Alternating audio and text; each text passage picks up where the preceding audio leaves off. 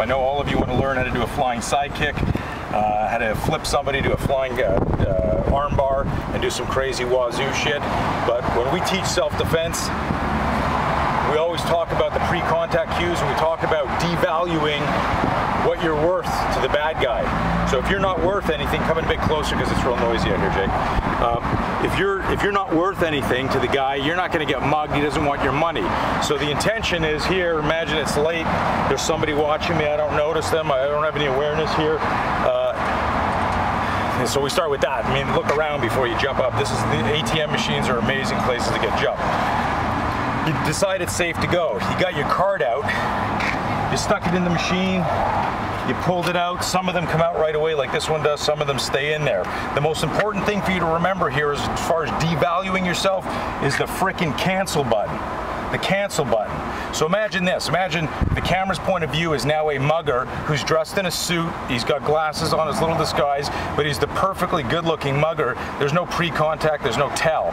So I'm here like this, I'm doing this thing, I punch it in, I look over, all of a sudden I got a bad feeling. Now, 99% of the people who survived vic victims of attacks have said they knew there was a premonition, there was a bad feeling before that. So they were all right. They lived to tell the tale, they lived to tell the tale, and they went on. What is going on here? Thank you. No, cancel. Thank you. I'm, I'm doing a film. So here's the deal.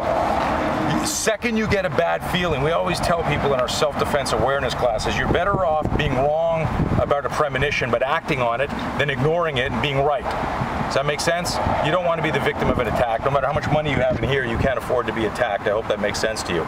So I'm here like this, I put the card in. As soon as I get a bad feeling, I will hit cancel, I will pause, and I will do this. What the fuck? What do you mean, insufficient funds? I just deposited. What the fuck is going on here? This is freaking bullshit. I have money in here. Fuck. Now, if I did something like that and there was an attacker on the side there going, well, fuck, this guy's got a bad temper and he has no money, do I really want to attack him? Does that make sense, everybody? You don't need to get into the fight devalue yourself in advance, in advance. Hit that cancel button, practice the acting. There's two things, bad guys don't want to get caught, they don't want to get hurt.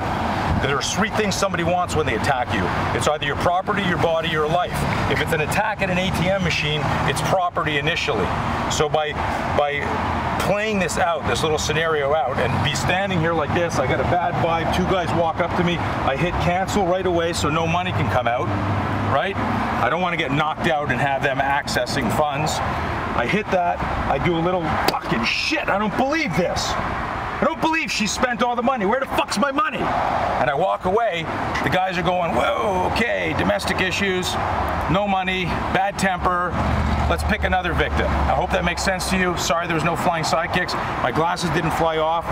I'm not wearing designer jeans. And the only juicing I've ever done does smoothie count? Does a smoothie count, Jason? We were talking about this earlier. Does smoothies count? That's the only juicing I've ever done, I swear. I'm out of here. Bye.